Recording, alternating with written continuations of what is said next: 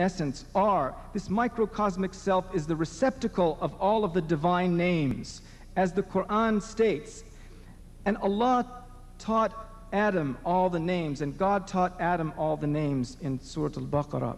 Yet, although God created this primordial human microcosmic self, in the words of the Quran, fi ahsani taqweem, in the highest stature, then God caused him to descend to the lowest of the low, the asfal safilin.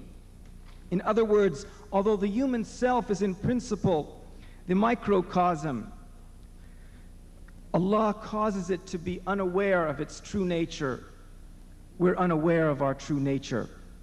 After Allah causes the self to be unaware of its true nature and unaware of Allah, all it sees is its temporal existence. Therefore, it falls in love with that temporal existence, according to Baqli. Rather than falling in love, being in love with Allah, it falls in love with itself. Not being aware of Allah, the self resists ubudiyah, it resists servanthood to, to Allah. Seeing only its temporal self, the self has difficulty giving up the pleasure of its temporal existence. But if the self can experience the supreme pleasure, which is to become aware of Allah, this knowledge will enable it to give up its resistance to being a servant of Allah. This knowledge will enable it to give up the pleasure of temporal existence, of the dunya. I was paraphrasing his commentary there. It seems like an impossible situation one has to extricate oneself from this self love. On the one hand, the self has lost awareness of Allah and of its true khalifa, of its true khilafa, its true microcosmic self. To regain this awareness, however, it has to become a true abd, a true servant. Yet on the other hand, the self will resist servanthood until it attains awareness with awareness of Allah. In other words, if we had awareness of Allah, this would help us give up our infatuation with our ego. But the problem is our infatuation with our ego blocks our awareness of Allah. We're in a bind. The way out of this problem, this conundrum, this unfixable problem, is that the self must attempt a return journey to knowledge and love of Allah through self knowledge. Self knowledge frees one's attention from temporal phenomena, hawadith. The reason why self knowledge frees one from the temporal phenomena is that God's representative, is that as God's representative on earth, as the Khalifa, human beings are potentially ennobled as recipients of all God's names and attributes. Hence, true self knowledge is direct knowledge of Allah's names and attributes, ma'rifah. The inverse also holds, namely, by neglecting to be truly aware of his or herself, in fact, the servant neglects God. Here, Baqli again cites the sixth Shiite Imam, Jafar as-Sadiq, who said, do not neglect yourselves.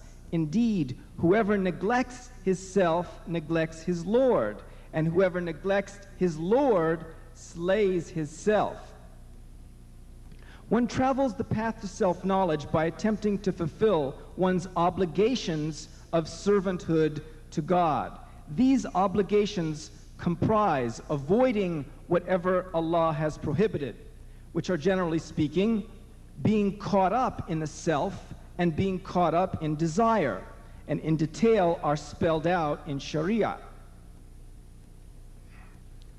Thus, by avoiding what Allah has prohibited, namely by avoiding the self, by avoiding desire, which of course means desire exceeding the demands of the, the limits of the Sharia, by avoiding this as well as by additional spiritual striving and by the practice of austerities, riyadat, and mujahadat, which Baqli mentions, one's heart will become gradually aware of Allah. But on the return journey to Allah, ultimately it is Allah who will liberate the servant's heart and free the self from the heaviness of self. If one manages not to become entrapped by major sins, kaba'ir, God will free the traveler's heart from the darkness that these sins bring about. In freeing the traveler's hearts from the darkness of their sins, Allah will convey them to union with the divine beauty and generosity. Allah will allow them to embody the attributes of Allah. تخلقوا بأخلاق Allah. Similarly, if one constantly strives to fulfill the obligations of ubudiyah, of servanthood, God will then free one from disobedience. Disobedience is experienced as heaviness, the heaviness of self.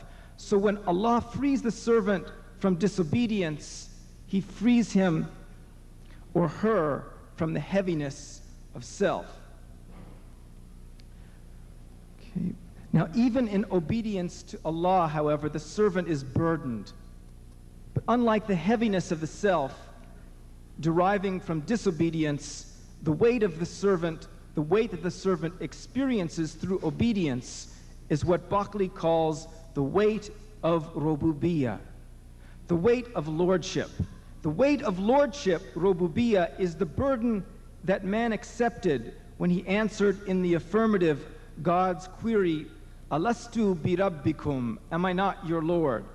At this point, human beings committed themselves, we committed ourselves to carrying the burden of continuing to answer yes, Bala, by fulfilling our obligations to God. Yet, just as Allah can remove the weight of self, Allah can also lift from the servant the weight of rububiyah, the weight of God's lordship. Thus, when the arif, the Gnostic, the knower of Allah, is aware of Allah, witnessing Allah, Allah lifts the heaviness of both lordship and servanthood from the Gnostic. I'm not saying that God lifts servanthood. That would be a mistake that Sufis were very careful to maintain. The abd is always the abd and the Rab is always the Rab, but Allah lifts the heaviness of ubudiyah and the heaviness of rububiyah.